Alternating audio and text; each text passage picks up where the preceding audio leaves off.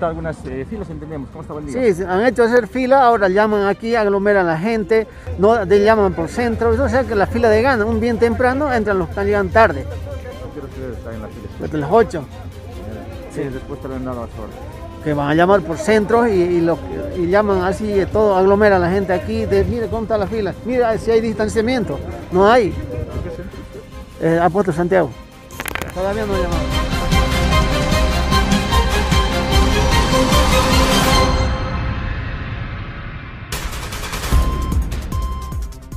Es evidente, buenos días. Eh, la verdad es una lástima, ¿no? La mala organización, pésima, muy mal. La organización en acá, gerencia de redes, eh, prácticamente en acá en Tupiza el sector salud está mal or- organizado. Mi persona desde esta mañana está esperando, pero sin embargo, mira, seguimos en acá. Son exactamente las 9.30 y hasta ahora no estamos pudiendo ingresar.